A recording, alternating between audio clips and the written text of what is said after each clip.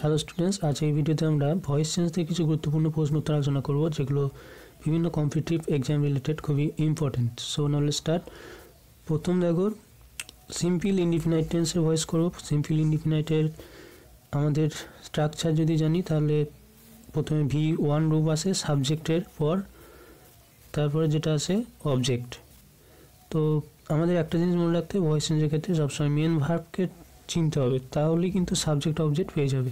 কারণ সাবজেক্ট অনেক সময় বড় থাকে নাউন ইন অ্যাপোজিশন থাকে, তো সাবজেক্ট অবজেক্ট চিনতে অসুবিধা হতে পারে। কিন্তু ভার্বটা চেনার থাকলেই কিন্তু অবজেক্টটাও সহজে পেয়ে যাবে সাবজেক্টটাও পেয়ে যাবে। তুমি অনেকটা কল্পনা করতে পারো পরমাণুর নিউক্লিয়াসের মতো। নিউক্লিয়াস যেমন পরমাণুর কেন্দ্রে থাকে, সেরকম ভার্বও একটা সেন্টেন্সের কেন্দ্রে থাকে। অর্থাৎ ভার্ব ছাড়া যেহেতু সেন্টেন্স গঠন প্রায় হয় না বললেই চলে। তো এসব দেখি। প্রথম উদাহরণগুলো। আর অক্সিলারি ভাব যেগুলো আনতে হয় প্যাসিভের ক্ষেত্রে প্রেজেন্ট ইন্ডিপেন্ডেন্টে থাকলে অ্যাম ইচ আর আনতে হবে। তো প্রথম উদাহরণ হি সিংস এ সং তো এর উদাহরণ অ্যান্সার কী হবে? প্রথমে আমাদের সাবজেক্ট অবজেক্ট চিনতে হবে। তো এ সিং হচ্ছে মেন ভার্ব আর তারপরে যেটা আছে অবজেক্ট এ সং সং যেহেতু একটা সিঙ্গুলার সেন্স আছে, সেহেতু ইজ আসবে। কারণ আর আসবে না কারণ বহু বচন থাকলে আর আসতো তো a song is sung sing ভার্বের ভি রূপ আসবে। ভয়েস চেঞ্জে সবসময় ভি রূপ নেই। তো as song is sung by him বাকিটা অবজেক্টের আকারে বসে যাবে। নেক্সট দেখো he does not sing a song তো এখানে নেগেটিভে আছে। তো আমাদের মেন ভাব থাকার পর এগুলো কিন্তু সাহায্যকারী ভাব ডাসটা তো মেন ভাব দেখব সিং এরপরে যেটা আছে অবজেক্ট এ সং এ সংটা বসল, তারপরে ইজ নট সিং ভার্বের ভি থ্রি রূপ আসবে সাং বাই হিম। তো অ্যান্সার হয়ে গেল is song is not sung by him. Next দেখো, does he sing a song? এটা এই ধরনের প্রশ্ন পরীক্ষায় আসে সব থেকে বেশি। তো ইন্টারোগেটিভ করা হয়েছে, এখানে ডাস্টটা কেবলমাত্র এই জিজ্ঞাসা চিহ্নটা হওয়ার জন্য ডাস্ট এসছে তুমি যদি সরাসরি না বুঝতে পারো, তাহলে যেটা করতে পারো সেটা হচ্ছে হি সিংস এ সং লেখার পরে ভয়েস চেঞ্জ করার পরে ডাইরেক্ট আবার প্রশ্ন চিহ্নে ফিরিয়ে আনতে পারো। তাহলে হতে পারে অথবা বুঝতে হবে টেন্স কোন টেন্স আছে ভি ওয়ানে আছে ভি ওয়ানে থাকলে আমরা কী করি? ইজ বা আর আনি। তো এখানে যেহেতু সিঙ্গুলার সেন্স আছে সিং এ সং তো আমরা ইজ আনব। তাই প্রথমেই ইজটা বসিয়ে নিলাম সরাসরি উত্তরে। তারপরে যেটা হবে তো ইজ ভার্বের পর, সাহায্যকারী ভার্বের পর, এ সং সাং বাই হিম এর আগে, এই উদাহরণটা বোঝার আগে আমি একটা উদাহরণের কথা বলি, যেটা হচ্ছে, a song is sung by him ঠিক আছে? তো এটাকে অ্যান্সার করতে গেলে তুমি কী করবে? প্রথমে এটা জিজ্ঞাসা চিহ্ন ফিরিয়ে আনতে গেলে এখানে ইজটা লিখলেই হয়ে যাবে অ্যান্সার একই জিনিস দেওয়া আছে কিন্তু। সুতরাং বুঝতে কোনো অসুবিধা হবে না, আশা করি। ইজটা এখান থেকে মুছে দাও। তাহলেই কিন্তু তুমি দেখো, এই ভয়েস চেঞ্জটার এইটার অ্যান্সার এটা হয়ে যাবে। সুতরাং বুঝতেই পারছ, তুমি প্রথমে ইন্টারগেটিভ করার পর এই বাক্য থেকে এই বাক্যে আসতে পারো, তারপর এখানে আসতে পারো এবং শেষ বাক্যে এটা এখানে ফিরে আসতে পারো। তারপর নেক্সট প্রশ্ন দেখো। প্রেজেন্ট কন্টিনিউয়াস টেন্সের ভয়েস চেঞ্জ প্রেজেন্ট কন্টিনিউয়াস টেন্সে কি সাহায্যকারী ভাব নেই? অ্যাম বিং ইজ বিং এবং আর বিং যেহেতু মেন ভার্বের সাথে আইএনজি যুক্ত থাকে রাইটিং সেহেতু একটা কন্টিনিউয়াসের সাহায্যকারী ভাব প্লাস বিং আনতে হয় তো দেখো প্রথম উদাহরণ I am writing a letter a letter is being বিংটা সবসময় আনতে হবে। অ্যাম বিং বা ইজ বিং বা আর বিং তো ইজ বিং তারপরে ভি থ্রি রূপ নেবে রাইট ভার্বের রিটেন বাই হিম এবং বাকিটা অবজেক্ট আকারে বসে যাচ্ছে। নেক্সট দেখো I am not writing a letter a letter is not যেহেতু সিঙ্গুলার সেন্স আছে is not being written by me তারপরে দেখো এটাও তোমরা আগের মতোই করতে পারো, আগে যে উদাহরণটা করেছিলাম।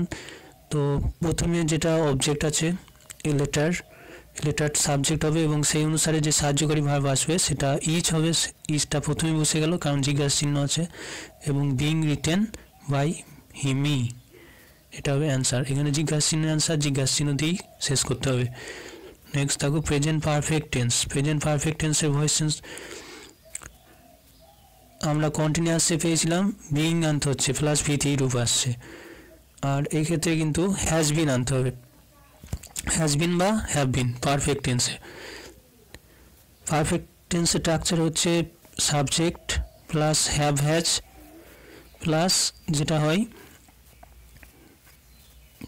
ভি থ্রি রূপ আসে পারফেক্ট টেন্সে একটা কমপ্লিট সেন্স অর্থে পারফেক্ট টেন্সে ট্রান্সলেশন হয়ে থাকে। তো আমরা জানি হ্যাভ আর হ্যাজ আসবে প্লাস ভি থ্রি রূপ আসবে দেখো এখানে দেওয়া আছে হ্যাজ ফিনিশড হার ওয়ার্ক তো কীভাবে চেঞ্জ করবে?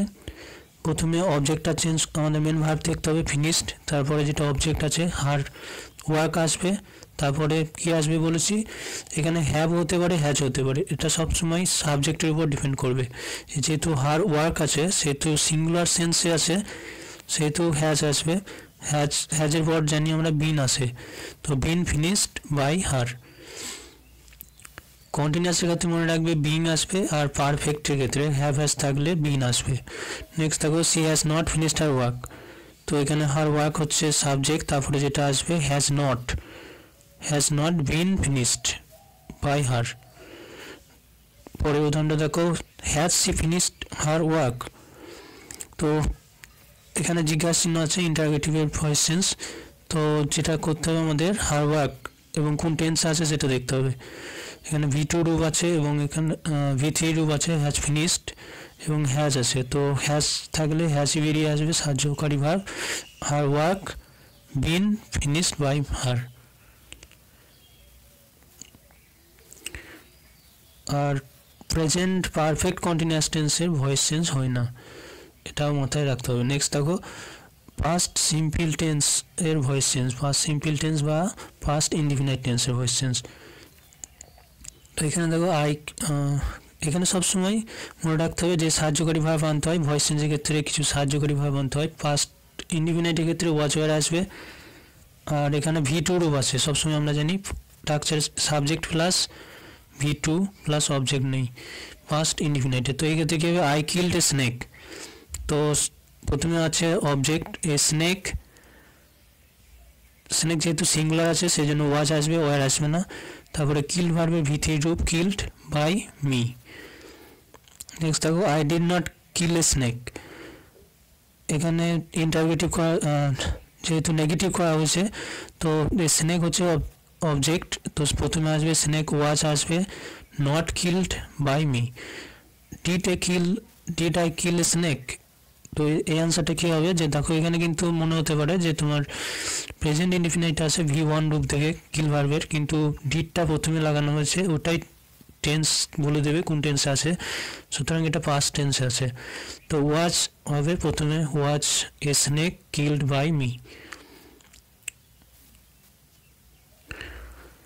next দেখো ফার্স্ট কন্টিনিউয়াস টেন্সে ফার্স্ট কন্টিনিউয়াস টেন্সেও প্রেজেন্ট কন্টিনিউয়াসের মতো, যেখানে আসছিল am was am is are being, তো এক্ষেত্রে পাস্ট কন্টিনিউসে ওয়াচ ওয়ার হয়, তো ওয়াচ ওয়ার প্লাস বিং আসবে।